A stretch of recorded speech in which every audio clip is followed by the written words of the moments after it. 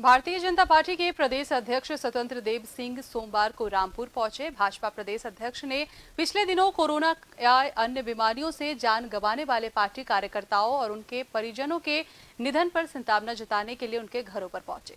जहाँ उन्होंने शोक व्यक्त किया और बता दी कि इससे पहले रामपुर पहुँचने पर राज्य मंत्री बलदेव सिंह ने प्रदेश अध्यक्ष स्वतंत्र देव सिंह का स्वागत किया। इस दौरान राज्य मंत्री औलख के अलावा अन्य भाजपाई मौजूद थे।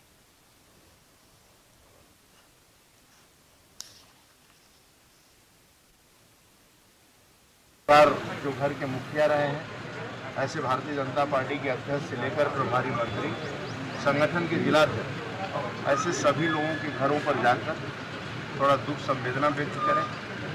जो सरकार की योजनाएँ हैं, जैसे उन परिवारों को गोद लेने का है, चार हज़ार रुपया शिक्षा उठा ये सब तो सभी का सहयोग हो चुका है। इसलिए राज्य के अंदर कुछ स्थानों पर हम, बाकी विधायक, सांसद, मंत्री, प्रभारी मंत्री ऐसे समाज के सभी वर्ग विभिन्न पत्रकार होंगे, गरीब होंगे, बहुत लोगों का सभी के घरों पर लोग पहुँचे कैसे उनके समस्या उनके बच्चों की चिंता कैसे हो सकती है?